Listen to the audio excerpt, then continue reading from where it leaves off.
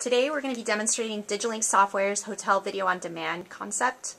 It's running on Texas Instruments DM3730 board and it's running Linux with Qt.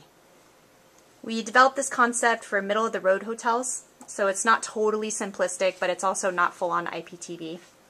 We created a fictional hotel called the Gardenia, and this is the Gardenia's Hotel Video on Demand.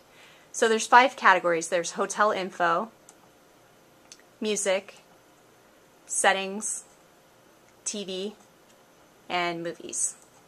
So if we go into the hotel info category, there will be several options. There may be guest room amenities, maybe the concierge, checkout and billing, the day spa, the pool. So let's take a look at the day spa. Here we can see that there are several options. Maybe we want a massage or a facial, maybe a couples massage, jacuzzi, relax in the spa. We can schedule an appointment from this screen. Or if we go back to the main screen, maybe we want to listen to some music. So we go into the music category, and as you can see, there are several typical categories alternative, rock, pop. Of course, we want to listen to some alternative, so we'll go into that category and listen to some Foo Fighters. Or if we don't like that, maybe we'll skip it and go to some Mumford and Sons or the Black Keys, etc. So this just shows a bunch of different options. You can also go down to your own media and maybe plug in your iPod or other MP3 player and listen to something of your own. Okay, let's go back to the main screen.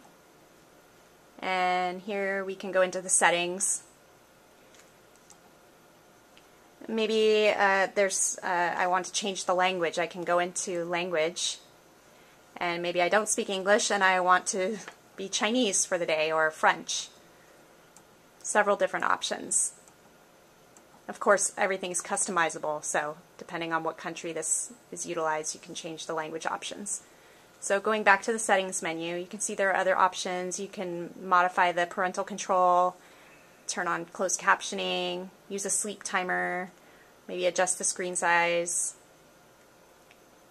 Okay, going back to the main menu, there's a TV option.